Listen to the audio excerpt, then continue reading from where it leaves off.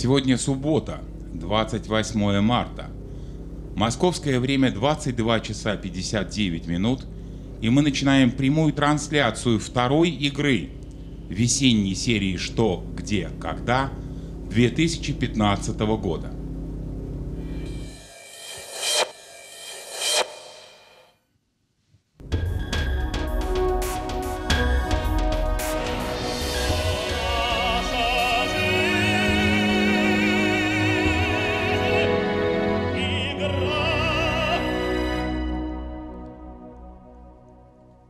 Против телезрителей. Сегодня играют экономист-математик Егор Барданов, Ижевск, экономист Евгений Фионов, Санкт-Петербург, математик Эльдар Низамов и инженер-исследователь Никита Баринов представляют Саров.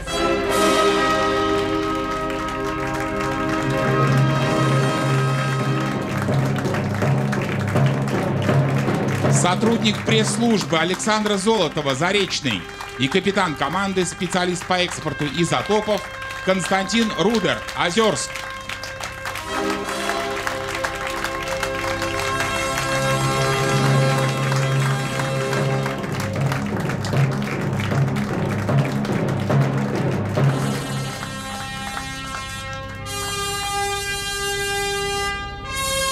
Против команды Константина Рудера сегодня играют Ольга Капченко, Тилбург, Василий Кривцов, Анарбор, Кирилл Смирнов, Москва, Владимир Бударин, Муром, Сектор Блиц, Константин Бардеросян, Ереван, Сергей Анисимов, Караганда, Галина Маркина, Индерборский, Сектор Суперблиц, Вадим Юрьевин, Волгоград, Вера Спицкая, Мигуты, Анна Иванова, Санкт-Петербург. 13 сектор. Весенние игры. Что, где, когда. Телезрители против знатоков. Играем, как всегда, до 6 очков. Счет 0-0. Первый раунд. Добрый вечер, уважаемые телезрители. Добрый вечер, уважаемые знатоки. Сегодня за столом играет команда, которая за два сезона из команды нашего спонсора, госкорпорации «Росатом», превратилась в одну из лучших команд клуба и завоевала право играть в юбилейном 40-м сезоне в играх фаворитов. Напоминаю, что в весенней серии играют лучшие команды клуба. Господин Рудер, скажите, вы уже ощущаете себя командой фаворитов? Команды фаворитов нет. Нет? Достойной, хорошей команды, я думаю, можем себя ощущать. Ну, то, что вы достойная хорошая команда, это безусловно. Почему так скромно, Константин? Ну, я думаю, команда фаворитов выиграла финал 2014 года у нас. Команда Олеся Мухина. Давайте сверху посмотрим. Суперблиц.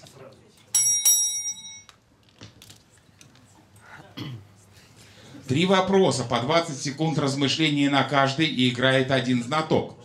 Кто останется за столом? Очень хочет остаться Никита Баринов. Никита Баринов.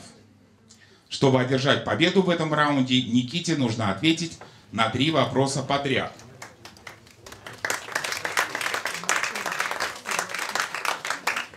Господин Баринов, компания БИН страхования учредила приз для знатока, который в этом сезоне сумеет выиграть Суперблиц. Если таких игроков будет несколько, то в финале года приз вручат тому, кто одержит победу последним. Но пока вам вы можете стать первым кандидатом. Так, э, Никита. Еще перед первым вопросом маленькое замечание. В зимней серии вы играли Суперблиц. Помните? Был дело. Вы сумели ответить на вопрос о Петре II, но не смогли справиться с вопросом о Николае I. Кровин ступил. И мы для начала доиграем прошлый Суперблиц. Вопрос был третьим, а сейчас, внимание, вопрос первый. Даниил Щетинин из Самары спрашивает, что согласно народной молве мешает Коле догнать Петю.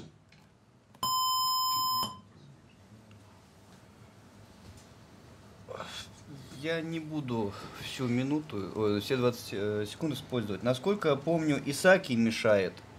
Дело в том, что в Петербурге э, есть два памятника. Один э, Николаю Первому, второй Петру Первому.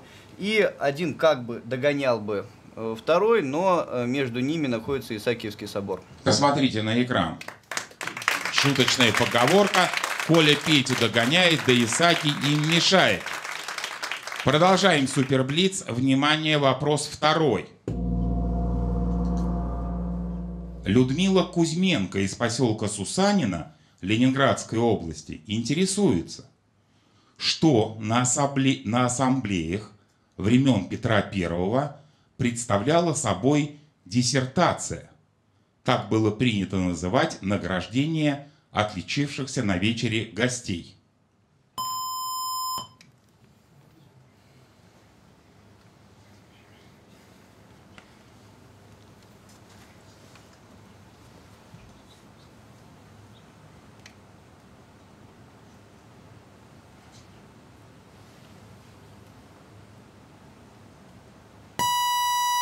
Прошу, Никита, ваш ответ.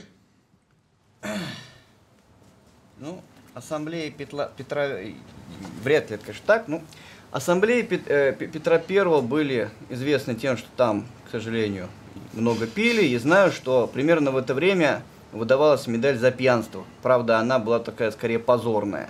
Ну, может быть, их отличившихся, э, э, ей отличившихся награждали. Ваш ответ понятен. Медаль за пьянство. А теперь, внимание, правильный ответ.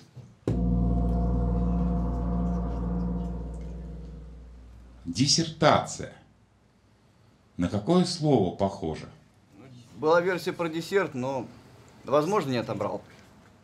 В диссертации на Петровских ассамблеях было принято называть награждение отличившихся на вечере гостей десертом.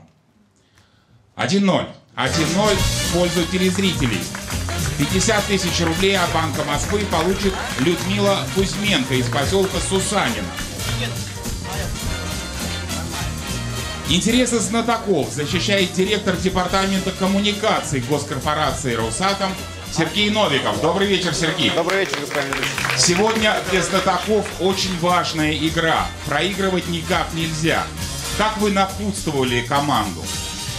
А, Я им сказал, что не слушайте, когда ведущий будет вас называть фаворитами, лучшей командой, все это вспоминать, потому что прошлых заслуг не бывает. Ну и кроме того, а, мы ждем от вас, конечно, искусствоведческого пакета вопросов, поскольку вы знаете, что у нас у физиков иногда с лирикой плохо, и будете, несомненно, бить в это слабое место. А, Сергей, скажите, если не называть команду фаворитом, э, вы скажите, как называть? Я так и буду.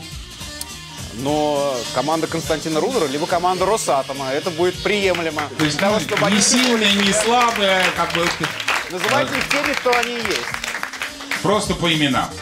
Например, да. Интересы телезрителей защищает президент Банка Москвы Владимир Верхошинский. Владимир, здравствуйте. Скажите мне по секрету, сегодня Сергей Новиков не просил вас особо не привередничать? Нет, не Нет, просил. не поступало такой просьбы от него? Господин Новиков меня о таких просьбах э, никогда не просит. Не просит. С такими просьбами. Владимир, вы знаете, но на прошлой игре мы с вами, наверное, может быть, на наш счет повлиял. Ответ, конечно, за светофоры мы засчитали, может быть, напрасно. Ну почему? По-моему, был... Там э, все-таки был такой не- неточный ответ. Но он был скорее более полный, э, Ну, не, поэтому... не полный, скажем так, не полный. То есть вполне можно было не засчитывать. Да, Давайте сегодня как-то построже с вами будем. Господин Борщевский, добрый вечер. Я знаю, что вы в зале, я уже вас видел. Здравствуйте. Скажите, а вот как вы считаете, вы видели этот вопрос на прошлой игре? Вот меня интересует даже не этот вопрос, а принципиально. Знатоки обязаны отвечать полностью на вопрос. Вот я э, уважаемым телезрителям объясню. Вот предположим, у меня был вопрос с ответом хоккеист. А знатоки отвечают хоккейный вратарь. Вроде он хоккеист, и правильно. Но почему откинули остальных хоккеистов? Непонятно. Я исхожу из следующего, что ответы на в клубе «Что, где, когда» — это не экзамен по ЕГЭ, где надо правильно заполнять клеточки. И это даже не автореферат кандидатской или там, докторской диссертации, где выводы, выносимые на защиту, должны быть сформулированы абсолютно конкретно и э, корректно и безукоризненно. Это игра интеллектуальная, это игра на озарение, на ассоциацию, не на знание. Знание — это как один из инструментов. Поэтому э, это творческий процесс. Давайте творческий процесс, перейдем. творческий процесс не может быть абсолютно идеально сформулирован. Если знатоки уловили смысл вопроса, поймали нить и сформулировали правильно, ну, правильно я имею в виду, ну, часть ответа, это правильный ответ. Я вам проведу простой пример. Вы, когда вам называют в ответе правильный ответ, в смысле точное слово, но не могут объяснить почему. Вы ведь не засчитываете очко. Вы не даете очко, хотя слово названо правильно. Значит, важно понять суть вопроса. И э, во- э, вопрос про светофор, да, он не был идеально сформулирован, ответ я имею в виду. Но суть была поймана правильно. А эта игра об этом, в отличие от других интеллектуальных игр, эта игра об этом. Вы просто, просто добрый человек, господин Борчевский. Второй раунд.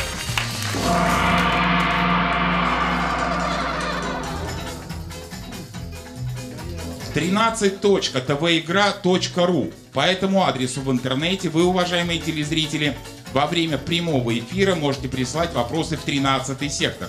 И когда Волчок укажет на 13 сектор, один из ваших вопросов я задам знатокам.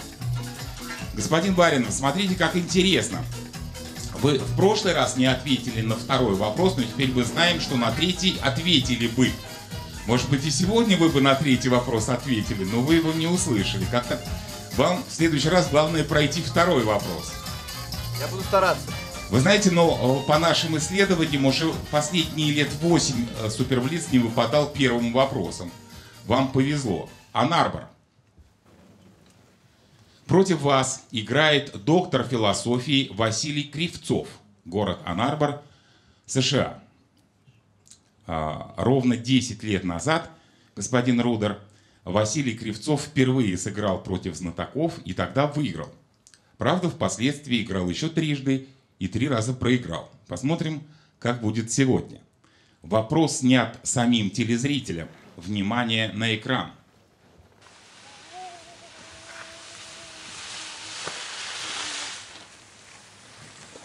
Здравствуйте, уважаемые знатоки! Черном ящике находится кулинарное изделие, которое американские горнолыжники ассоциируют с тем же, чем русские горнолыжники ассоциируют орудие сельскохозяйственного труда. Внимание, вопрос. Что же находится в черном ящике? Я думаю, это пицца, пицца, пицца, послушай, это пицца, пицца, потому, потому что он показывает вот. Понял? потому что тормозишь. Никита, твоя версия. Пицца, Очень показывает, это это точно. лук по-русски. По-моему, пицца, точно. А американцы? А американцы пиццы, да, Сань, какая-то другая. А, в красиво. черном ящике лежит кулинарное изделие. Пицца, да, пицца, кусок, кусок. Именно Да, потому, что да, ноги да. так держал под углом. Да, Хорошо, понял. Вот это картошка фри, вот это пицца. Ты Ну, знаешь? почти. Никита, от плуга твоя версия, что из этого А, Нет, просто орудие, тут это Это проверяется. русский, просто русский, американский. это он ноги поставил так, да. Что-нибудь будет еще у нас? О, А вопрос там что было? Именно кулинарное. Там кулинарное изделие. Которое находится в черном ящике. А, Господин ведущий. Да, господин Рудер, у вас еще 15 секунд есть. Да. Вы готовы отвечать? Да, мы готовы отвечать. Прошу вас. Отвечать будет Евгений Фионов. Прошу, Евгений, отвечайте. Э, Мы считаем, что в черном ящике кусок пиццы. Откроем черный ящик. Там пицца. Уважаемые телезрители, при торможении лыжи расположены под углом. Наши горнолыжники говорят тормозить плугом, а американцам это напоминает кусок пиццы. Один-один. Господин Новиков, Сергей, команда Росатома, по-моему, стала первой командой в истории клуба, которая стала использовать, как говорят в спорте, обратную замену. Осенью прошлого года Ирина Низамова заменила своего мужа Ильдара, а сегодня Ильдар сменил Ирину. Ирина, добрый вечер. Объясните мне, пожалуйста, Ирина, вы же прошлой осенью были признаны лучшим игроком в команде, сумели выиграть Суперблиц, и вас заменили. Можете объяснить, почему? семейным обстоятельствам. Ну, а можете, так сказать, ра- раскрыть, что за обстоятельства? Нет, это секрет. Это секрет. Господин ведущий, Не будете, да, господин Новиков. я просто хочу сказать, что в этом и есть смысл замены. Когда один игрок покидает поле, в данном случае стол, а потом возвращается.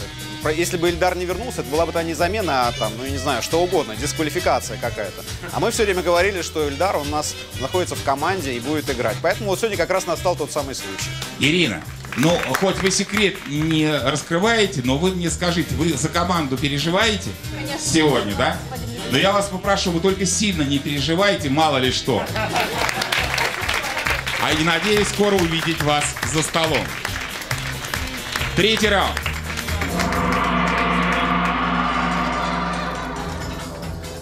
Господин Низам, скажите, пожалуйста, я правильно понял, что это за секрет?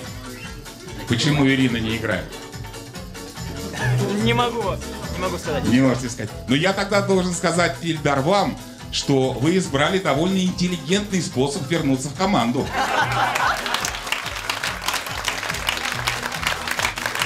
Господин Новик, Да, господин. может, вы знаете, вот дали бы ребятам поиграть вместе за столом, и ничего бы не было, а то видите, что творится. Жена с мужем друг друга высаживают по очереди. Они выполняют задание президента, господин ведущий.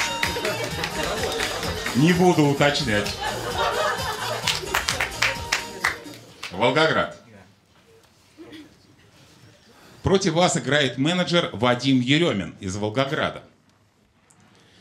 Господин Рудер, в 60-х годах на дорогах Волгограда можно было встретить грузовики, помеченные зелеными флагами, водители которых не соблюдали скоростной режим. И если кому-то из сотрудников ГАИ пришло бы в голову остановить такую машину и забрать у шофера права, то он потом получил бы строгий выговор от начальства. Внимание, вопрос. Что это были за грузовики и куда они торопились? У нас досрочный ответ отвечает Никита Баринов. Досрочный ответ должен быть точным. Прошу вас, господин Баринов. В это время возводили монумент, известный как Родина-Мать, э, и возили цемент. Причем цемент этот, воз- э, этот делали относительно далеко от э, самого монумента, и поэтому его, так сказать, э, в почти готовом виде э, грузили в эти машины. Загру- э, Они, если бы машина остановилась, он бы там просто застыл, поэтому их нельзя было останавливать. Ваш ответ понятен. А теперь, внимание, правильный ответ.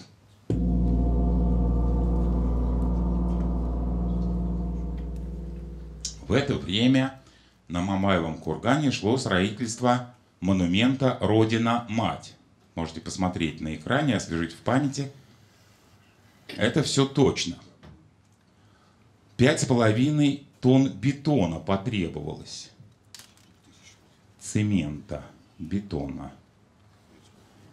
Бетономешалок не хватало, и часть бетона доставляли на грузовиках с зелеными флагами.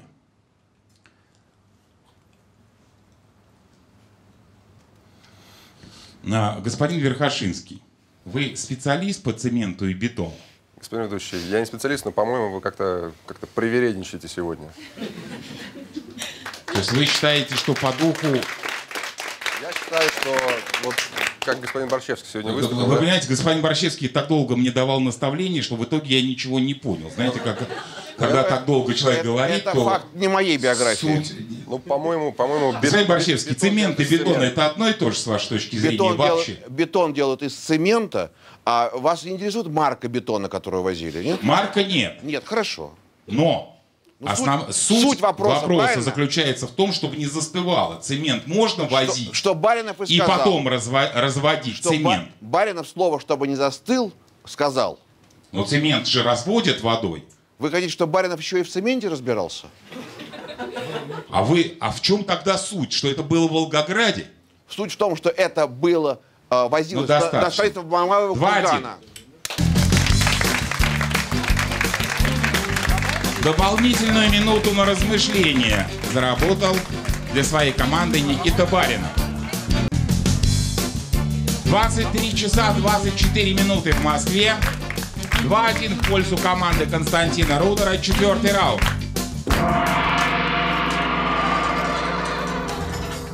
Уважаемые телезрители, если вы хотите сыграть против знатоков в этом сезоне, присылайте свои вопросы по электронной почте, адрес вопрос собака твоигра.ру, либо по почте 127 427 Москва, улица Академика Королева 12, программа «Что, где, когда». Всегда жду ваших вопросов. А сейчас можно присылать в 13 сектор. Господин Баринов, смотрю, у вас хорошее настроение пока. Пока да.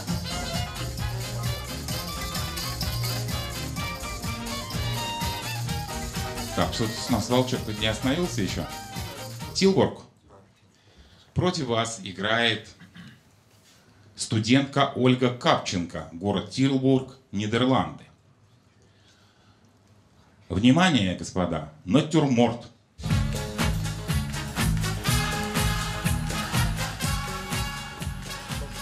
На картинах художника Вильяма Класса Хеды, как и на картинах других голландцев, можно встретить рёмеры. Рёмер – это средневековый кубок для питья. Внимание, вопрос. Для чего на ножках рёмеров делали украшения в виде виноградной лозы или ежевичных ягод, например? Чтобы не соскальзывал, может быть. Ребят, чтобы не соскальзывал, когда его берешь. Может быть, нет? Или А чтобы индивидуальная рука. неудобно, чтобы когда, чтобы меньше чтобы- пился, чтобы он не выпадало. Нет, наоборот, удобнее держать будет. Кость, Ребят, а могли в латах, например, ее представить? Неудобно. Она форму неудобно держать. А кубок для Смотрите, битья? рядом он разбитый. Ребят, это стеклянная или железная? Егор, мне говори, я не слышу. Рядом он разбитый, ну действительно там. Могли бы его, например, не руками голыми держать, а в перчатках каких-то или А, слушайте, Чтобы латные перчатки не могут быть, латные перчатки. И что, ну? Но, чтобы удобнее было держать, чтобы он не соскальзывал. А почему Нормально, нормально. Средневековый, средневековый. Средневековый. А, яд не может быть А там храниться. Может, это особенности плавки стекла какие-то могли бы? Ряд. Виноград А или зачем ежевика нам что-нибудь даст? Виноград и ежевика что нам дает? били? Зачем? Какой у нас Женя? Рядом битый речь. Какой битый? Просто разбитый. Просто. Будем брать минут дополнительно? Итак, кто отвечает? Господин Рудер, кто отвечает? Евгений Фенов попробует ответить. Прошу вас, Евгений, Ну, повторите, если не сложный вопрос. отвечайте. Для чего на ножках Рёмера делали украшения? Ну, э, предположим, предположим, что такие украшения э, делали не просто так, а под заказ под определенного человека, дабы э, этот бокал, с- ну вот с помощью вот этих вот украшений идеально ложился ему в руку. Ваш ответ понятен. Теперь, внимание, правильный ответ. Узор на ножке выпуклый. Егор Барданов говорил, но не смог, а, еще бы вот аргумент, Егор, и вы вашу версию бы взяли. В те времена люди, как правило, ели руками. Вилок не было. И такой выпуклый узор делали для того, чтобы бокал не выскользнул из жирной руки. 2-2. 60 тысяч рублей заработала Ольга Капченко из Тилбурга. Пятый раунд. Уважаемые телезрители, игроки команды Константина Рудера тщательно готовятся к каждой игре. Никита Баринов, например, в день игры пробегает 8-10 километров. Сегодня бежали, Никита? Да, конечно. Егор Барданов непременно съедает шоколадку. Е- Егор, съели сегодня? Обязательно. Ну, Вам помогла, кстати. Александра Золотова смотрит старые игры «Что, где, когда». Александра, сегодня смотрели? Да. А вы смотрите игры со своим участием Нет, или нет, другие? Нет, нет. Я А смотрю... капитан команды во время подготовки не разрешает разговаривать о будущих играх. Константин, почему? Ну, потому что они могут быть, а их могут не быть. Может не быть. Поэтому нет смысла говорить о том, что еще неизвестно. Из суеверных соображений. Ереван. Против вас играет кандидат филологических наук Константин Мартиросян, город Ереван, Армения. Господин Рудер, вопрос снят нашим корреспондентом. Внимание на экран. Здравствуйте, уважаемые знатоки! Однажды во время лекции по русской литературе в Корнельском университете Владимир Набоков погасил свет в аудитории, а потом включил одну люстру и сказал это Пушкин на небосводе русской литературы. Затем включил вторую люстру и сказал «А это Гоголь». Включив последнюю, воскликнул «А это Чехов». Внимание, вопрос. А каким образом Набоков объяснил студентам, что такое Толстой в русской литературе? Он открыл шторы. И когда хлынул солнечный свет, он сказал, что это Толстой. Ты знала? Нет. Ну просто тебе Что-то, озарение. что дверь открыл. э, Толстой? А, студентов выпустил. А они могут все включить? Что, э, это все вместе? Ребята, он не между ними был, или он А, ну да, получается, Пушкин это все искусственно, а там именно естественно. Нет, нет, они все прекрасны, но Толстой всеобъемлющий. То есть он после А почему Чехова... тогда он не все лампы включил, что там все засверкало? Что он еще мог сделать? Что еще? Он мог зажечь что-то, что у него было с собой, фонарик еще. А может он наоборот свечу? Может полностью. Как относился, кстати? Вы. Кто знает? Ребятки, Толстой это естественное. Может быть он свечку сделал наоборот, уважением. что смотрите, это лампочки, а здесь свеча, она как бы живая. Точно? Ну, в смысле свеча? Осветить. Зажигалки, я не знаю, были тогда вообще зажигалки или не было. Были, Я понял. но- Незачем. Хорошо, ладно. Что-то. Я понял. Хорошо. Господин ведущий ответит Александра Золотова. Александра?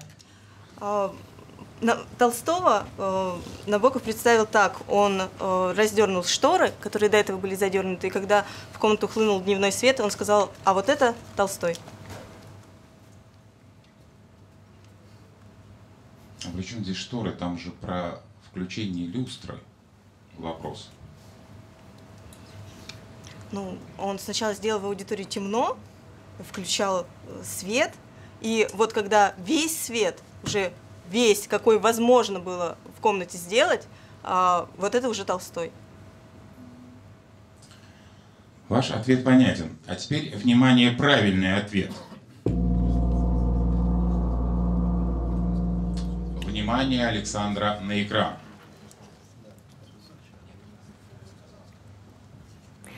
Владимир Набоков подошел к окну, поднял штору, в аудиторию ворвался дневной свет. А это Толстой в русской литературе. 3-2. Александра Золотова приносит третье очко своей команде. Уважаемые телезрители, в весенней серии этого года играют фавориты лучшей команды клуба. Команда Константина Рудера ведет борьбу с командами Балаша Касумова, Виктора Синьева, которые еще не играли, и команда Андрея Козлова, которая одержала победу неделю назад. Господин Козлов, здравствуйте. Где господин Козлов? Потеряли вас. Вот он я. Как ваши дела? Отлично. В случае победы, напоминаю, команда перемещается на первое место рейтинга. В случае поражений исключается из рейтинга и, возможно, в этом сезоне больше не сыграет. Ну а в финальной игре, напоминаю, будет играть команда Олеся Мухина. Но до вашей игры, господин, госпожа Архангельская, господин Талывов, еще надо дожить. Шестой раунд.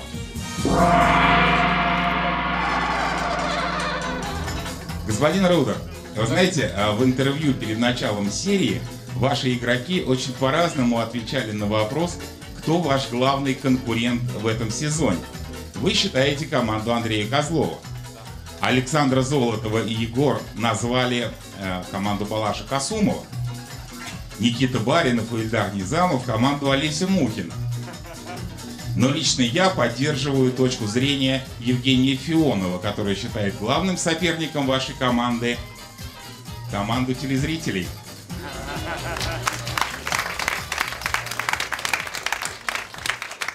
Мигуты. Против вас играет Вера Спицкая. Хутор Мигуты, Краснодарский край. Господин Фионов, вы сенсимонист по духу? Когда узнаю, что значит это слово, отвечу. Ну как, вы не знаете Анри Сен-Симона? Ну, я знаю, что это утопист, но... э, Социалист, утопист. Вы последователь его учения? Нет. Нет. А вот последователи Анри, Анри Сен-Симона, извините, стремились добиться объединения всего человечества в одно нравственно-политическое общество.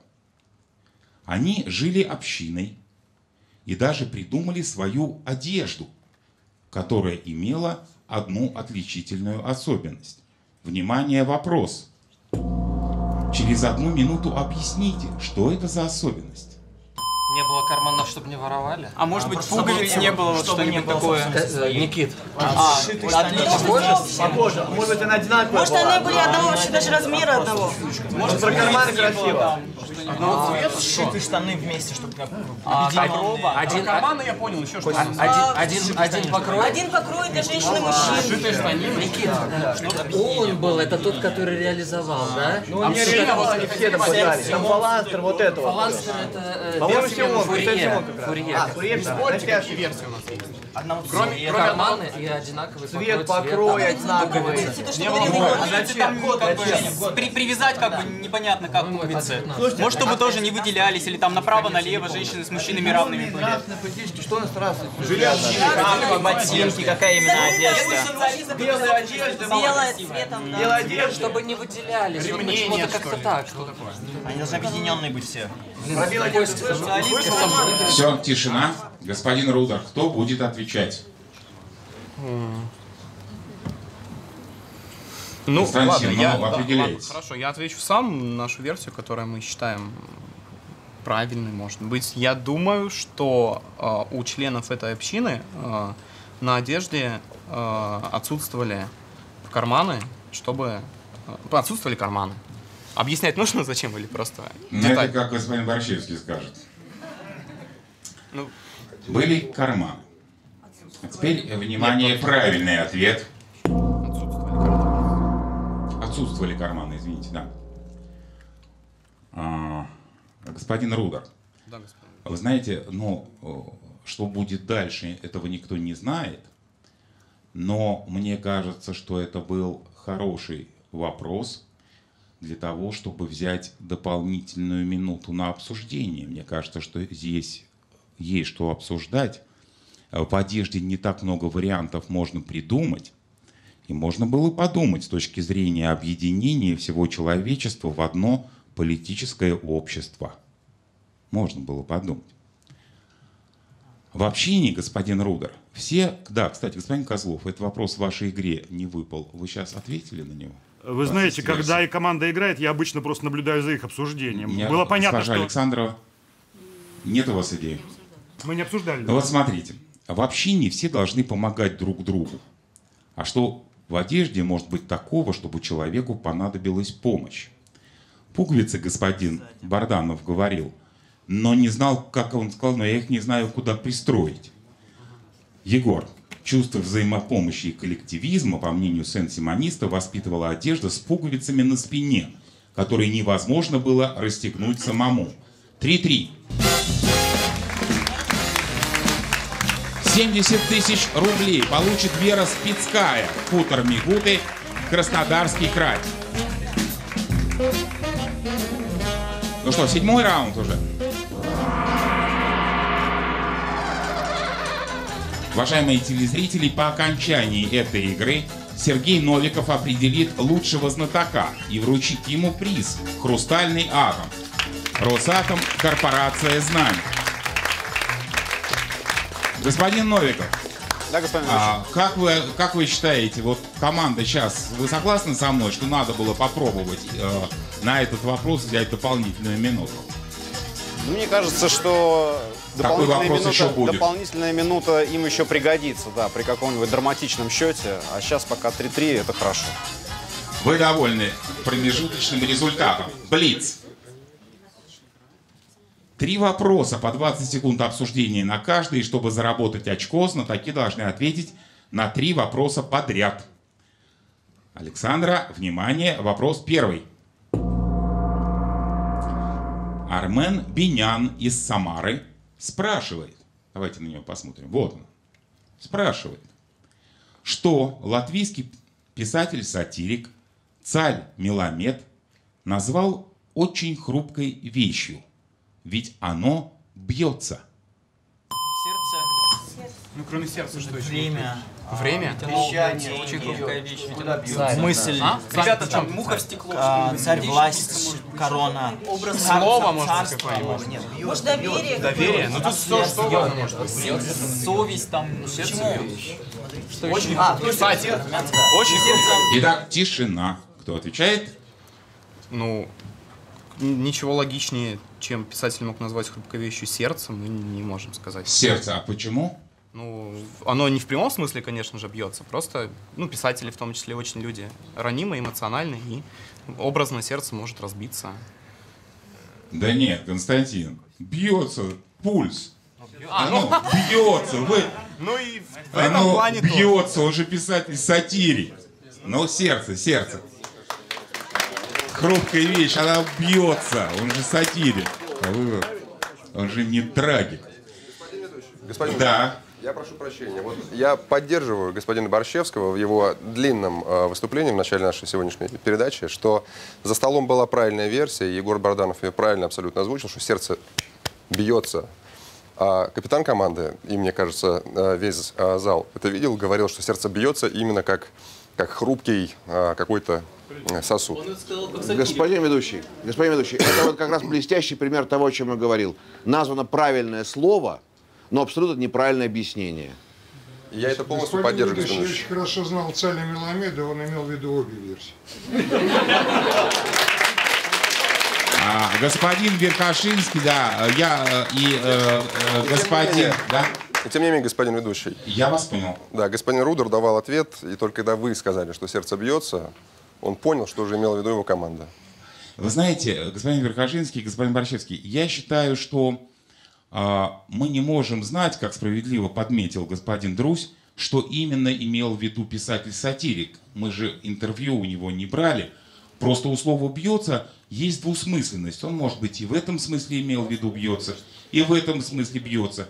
И я... э, А как, простите, сердце ну, бьется в, сем- разбивается от любви, например. Да, господин Низамов? У вас был такой эпизод в жизни?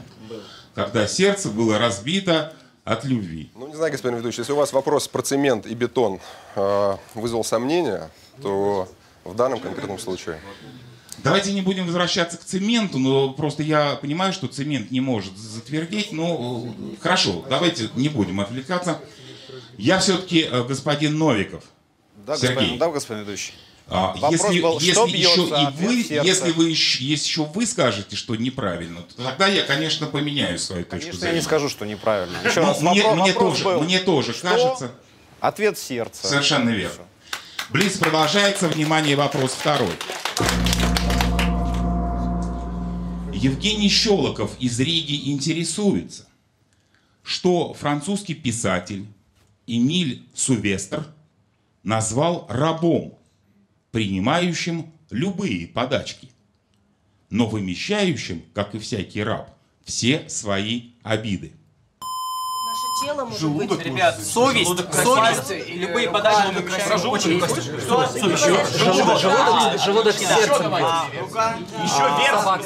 Собака. Собака? Обида она не вымещает. Ну вот он принимает любые, человек любые подарки. любые не подачи. знаю, мозг, что ли. А как рука? Ну, она тоже раб и... Итак, прошу, прошу ваш ответ. Ну, пусть будет э, желудок. Желудок. А теперь, внимание, правильный ответ. Господин Касумов, вы находитесь прямо за креслом Константина Рудера. И уже второй или третий раз, когда только звучит таймер, начинаете говорить версию господину Аскерову.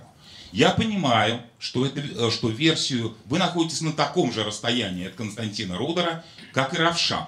Поэтому я вас прошу не обсуждать, а, э, перемигивайтесь глазами или передавайте через Елизавету.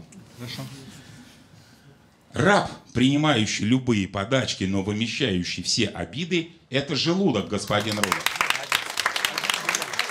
Блиц продолжается решающий третий вопрос. Мишель Монтень утверждал, что справедливее всего на земле распределен ум. Ольга Лукашевич из Самары интересуется, как французский философ аргументировал это утверждение. Правое-левое полушарие. Правое-левое Никому полушарие. слишком много. Никого, ни, ни у кого слишком много не бывает А, ума. нет, нету, нету гениальных. Распределен а, сердце, желудок, мужчина, женщина. Распределен направо и налево. Поровну мужчинам, женщинам. А может наоборот, что мужчины Там умнее женщин? Никому У него есть два полушария. Тишина, все, все. Кто отвечает? Евгений Фионов. Евгений Фионов, прошу вас. Ну, мы предполагаем, что э, ум у нас живет э, в мозге, а мозг распределен на равные полушария, правое и левое. Итак, под, а, справедливее всего на Земле распределен ум, потому что есть левое полушарие и правое, которые, по-моему, при этом еще и неравноценны. А теперь, внимание, правильный ответ.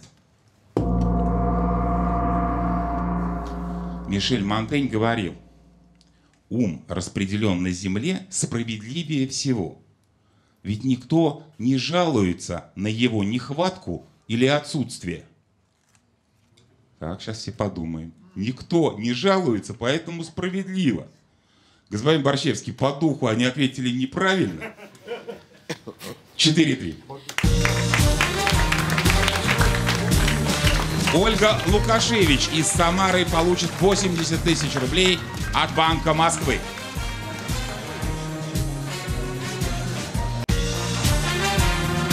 Без пяти 12 уже. Господин Рудер, пора заканчивать. Восьмой раунд.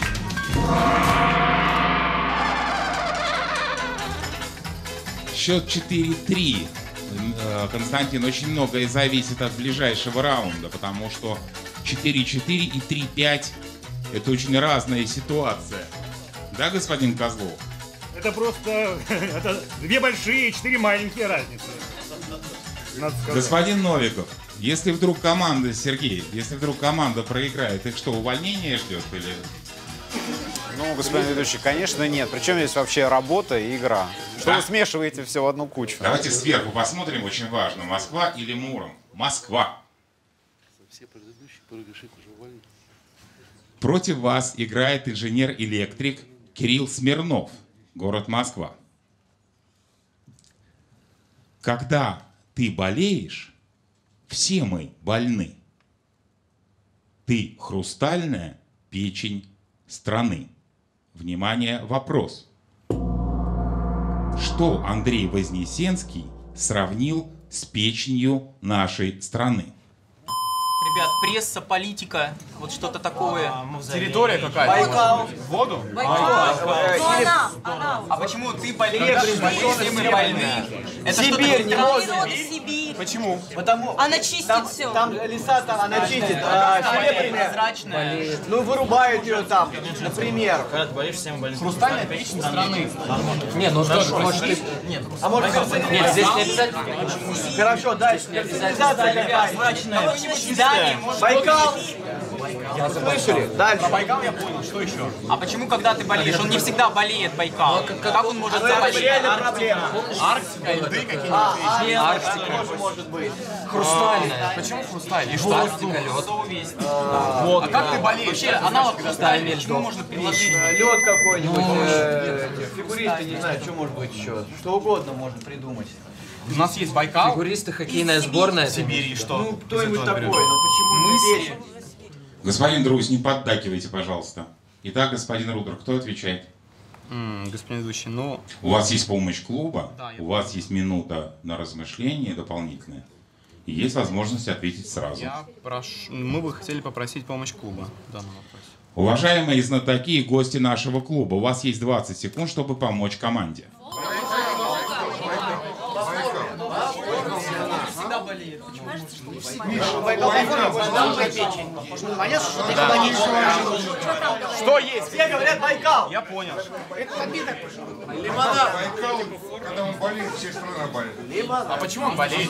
Как он болеет? Потому что было Тишина, 20 секунд закончились. Итак, Константин, кто отвечает? Клуб нам подсказывает, клуб нам подсказывает, что речь идет об озере Байкал.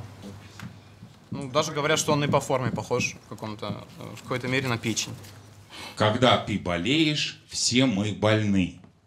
Как говорил Никита Баринов на первой или на десятой секунде, Байкал, ты хрустальная печень страны. Но вы решили послушать клуб 4-4.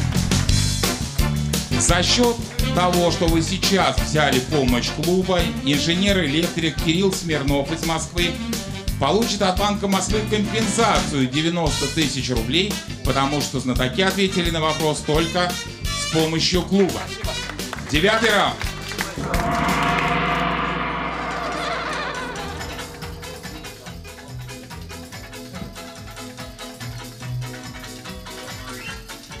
Константин, почему не решились-то? Ну, мы между Сибирью и Балка- Байкалом отбирали. А Сибирь хрустальная? Не хрустальная. Байкал тоже не хрустальный. Как это?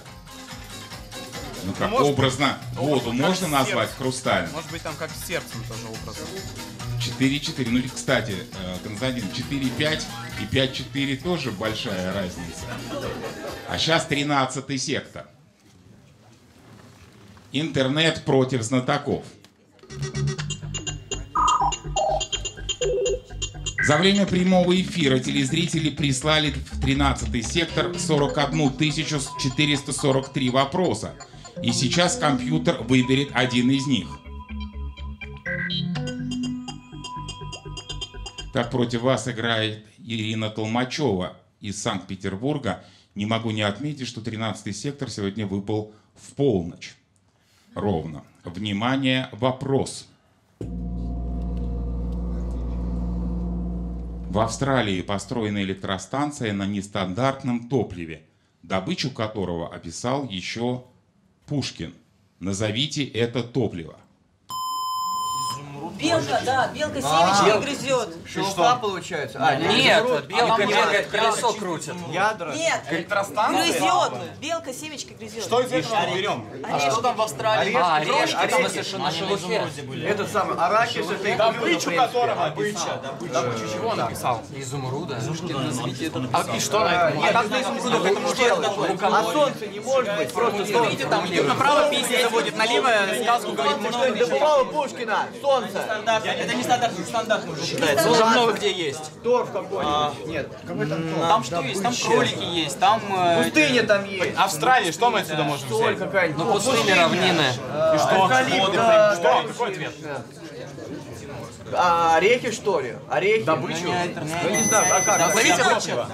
Что? Ладно, я не знаю, как изумруды Как на этом? делать. Я не знаю, как топливо преломляется что-нибудь, может быть, там. На морское что-то. А, 33 богатыря, может, нет? Итак, кто отвечает? Водоросли. Кто отвечает, Константин? Господин ведущий, я думаю, мы на этом вопросе, у нас сэкономленная минута есть. одна. Есть. Да, ну, как бы понятно, что вопрос на экране. Да, вопрос читайте.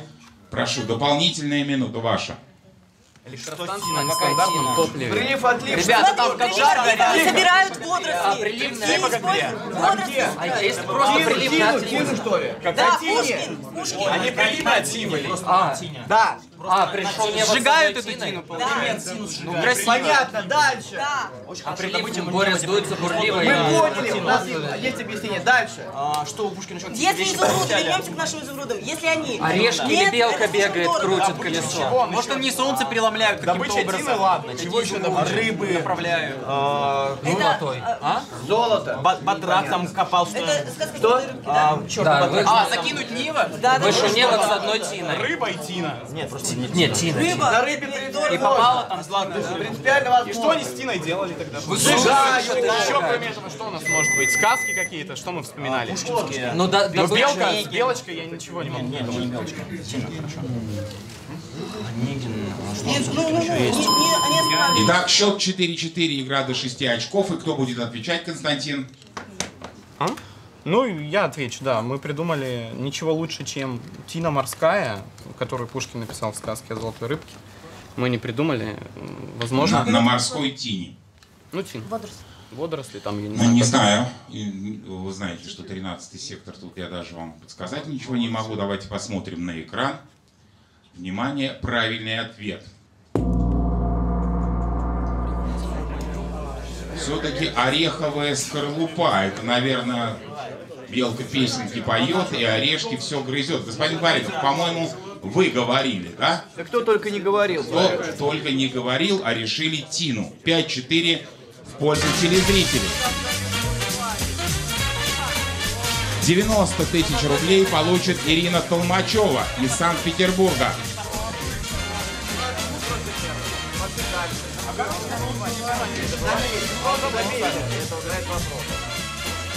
Десятый раунд.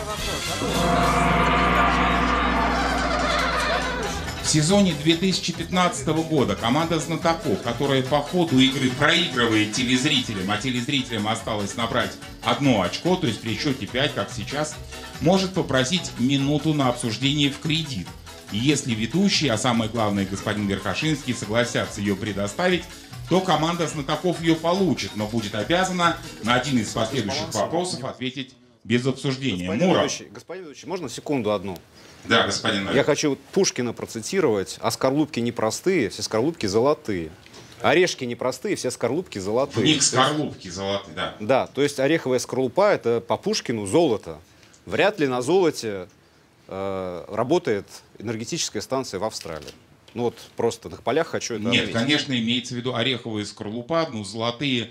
Вы же понимаете, что это имеется в виду, как бьется сердце. Мы же не знаем, в каком смысле имел в виду Пушкин. описал золотые Пушкин. в смысле Описал золота? Пушкин, да. Или золотые настолько хорошие? Нет, напомните, что там еще Итак. были ядра чистый изумруд. Так что вполне, Ну тоже, господин Сиднев, это ж образ какой, чистый изумруд. Не знаешь, что они из изумруда. Конечно, из изумруда. Мы не знаем, что имел в виду Пушкин. Итак, против вас играет Пушкиным знаком. Монету и пускает в ход по свету.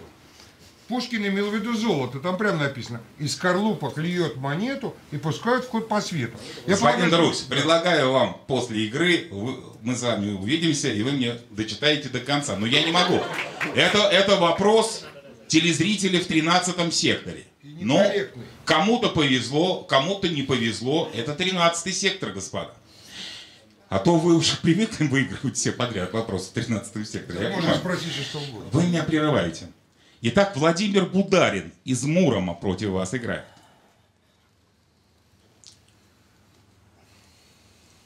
Внимание! Обыкновенный совок.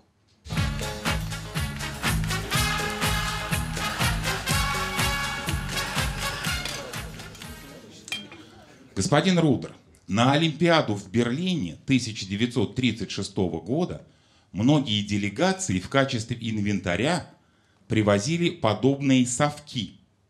Внимание, вопрос. Для, для чего они были нужны спортсменам? Может быть, земли брать какие-то. Может быть, сажали они колодки, что-нибудь. э, колодки стартовые, может, не было тогда, не А, знаю. ложки А, ложки, красиво, Ну, красиво. быть? Берлине, 36 год. Горсть земли с собой взять. Да, с земли, может, от стены, от берлинской Да стены, какой ли? 36 Не было Берлинской А. стены, 36 год. И качество Может быть, они сажали что-нибудь. Они могли они разравнивать, например, где прыжки, прыжки в длину. Они, может, сад посадили там. Спортивная команда. Спортивный инвентарь красиво. Как они хоть Кроссовки одевать.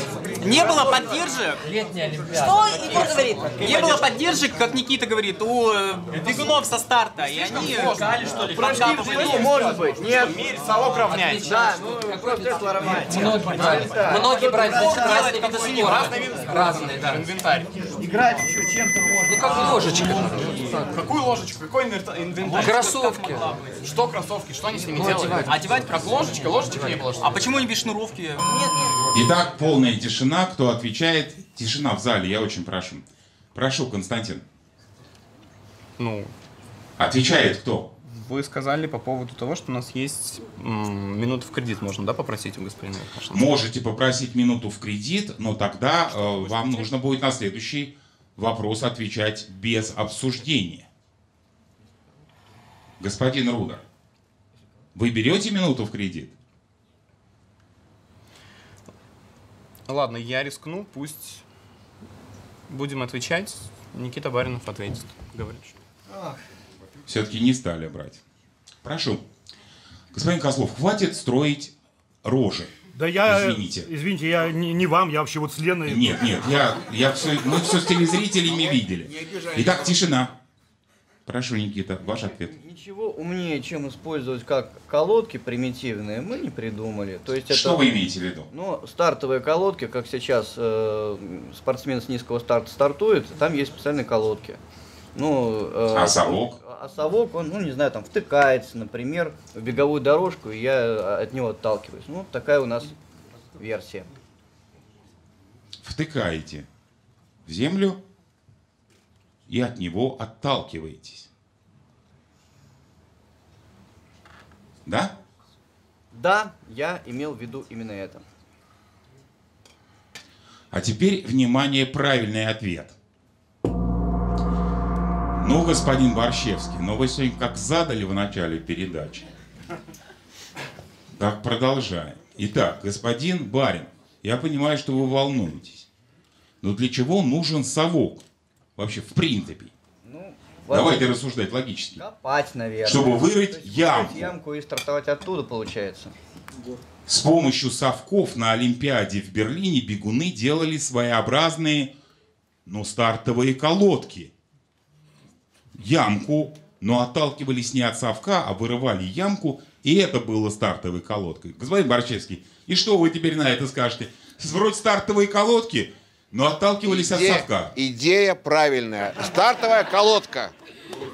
От совка отталкиваться не надо. Совок – это наше прошлое. Господин Новиков, ну это вам за 13 сектор. Да, господин Веркашинский, вы что-то хотите сказать? Господин Ильич, я э, не разделяю всеобщего оптимизма, я прошу прощения. А вот мы э, с господином Новиком и Ильей здесь стояли, так и между собой шепотом обсуждали этот вопрос. Как раз ну, на первой же секунде появилась версия стартовой колодки. Я говорю, а как же так них отталкиваться? Нет, говорит, отталкиваться они вывалятся. Говорит, ямочку копают и побежали. А, И, э, как я понимаю, знатоки ну, дали ответ отталкиваться от совка. Ну, Правильно? хорошо стоя играть с вами, господин Верхошинский. А? Что вы гос- говорите, господин Новиков? Я говорю, что нам здесь хорошо стоя играть и расслабленно, да, а команде все-таки надо делать скидку. Еще 4-5 Ну, на правильность идеи. Я не знаю, скидки, кредиты, да. А,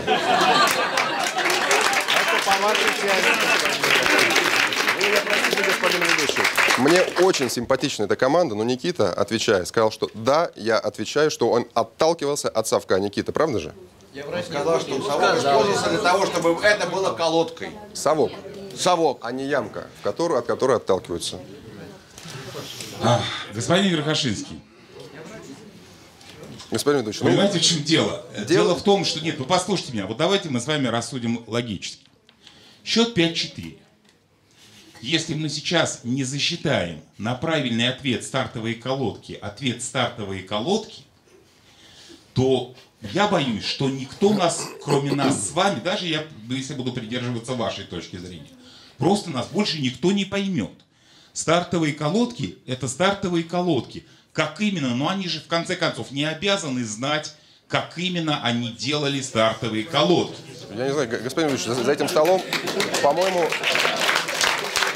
по-моему, господин ведущий, Да, господин Веркашинский. за этим столом половина физиков, ну или, по крайней мере, людей с техническим образованием. Но вот э, во что надо воткнуть эту штуку, чтобы она крепко держалась, чтобы использовать это как ну, э, упор для старта бегуна? Скажите, пожалуйста. Владимир, вы знаете, я, э, меня господин Новиков Сергей всегда обвиняет, вы всегда слушаете Верхошинского и никогда не слушаете меня. Не, ну сегодня день, Давайте день сегодня не, не сделаем, Верхошинского. Ну, правильно. сделаем исключение. 5-5.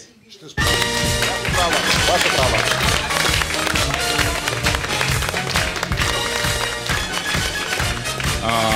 Господа, ну я еще раз хочу повторить, уважаемые телезрители. Ну я не могу. Команда, если проиграет, а для нее практически закончится сезон юбилейный, в который она вышла фаворитом. И я скажу, почему они проиграли. Потому что они на стартовые колодки ответили стартовые колодки. Ну, это выше моих сил, ну просто выше. При всем моем характере. 11 раунд.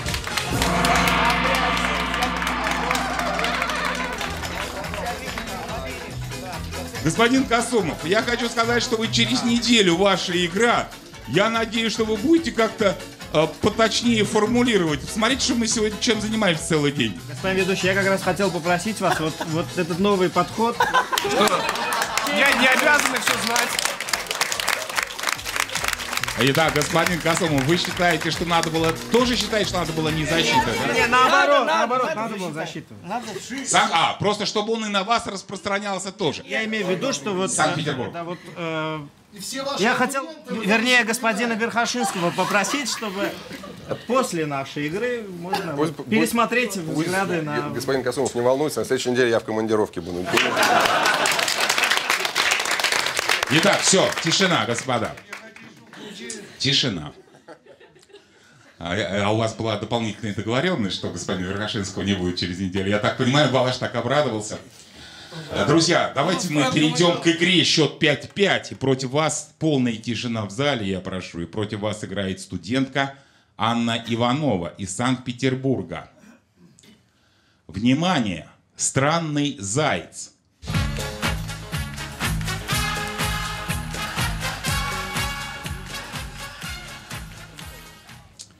Внимание, вопрос.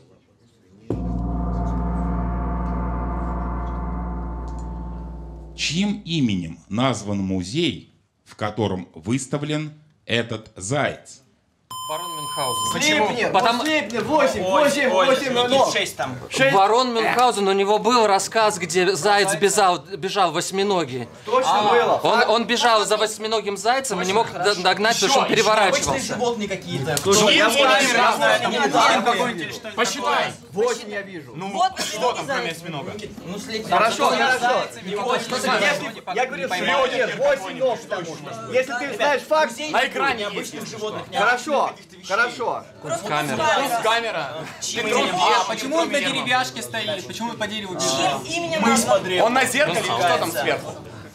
Что это такое? Стекло просто? Ну это В чем то Он не отражается, это не... Ну, стекло, Это музей, это нормально, всегда так. От чего это музей может быть? Да? Генетики А всяких мюнхгаузенских Можно штук. чего-нибудь выяснить, тут не перебрать до бесконечности.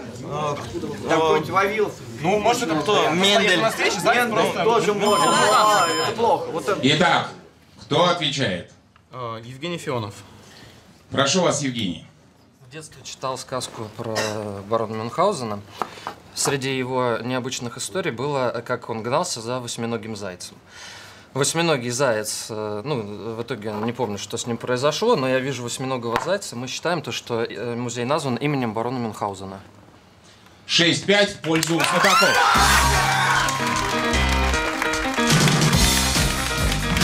Команда, команда Константина Рудера в этой тяжелой игре, многовариантной я бы ее назвал, одерживает победу и поднимается на первое место весеннего рейтинга команд клуба, а также становится главным претендентом на участие в финале летних игр.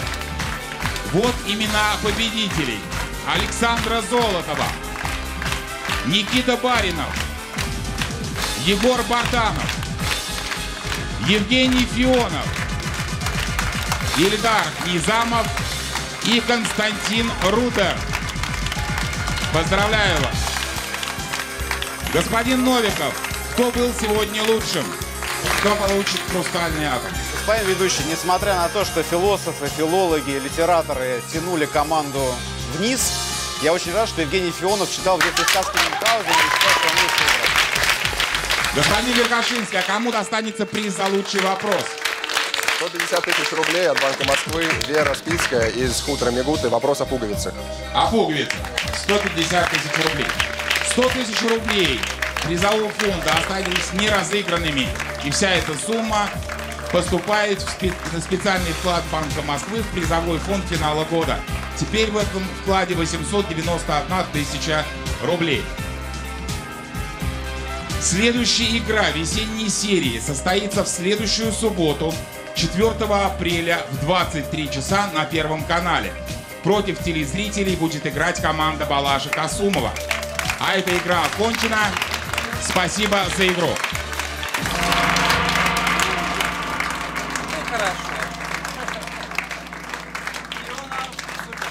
Господин Рудер, ну какое-то впечатление такое странное от победы у вас нет?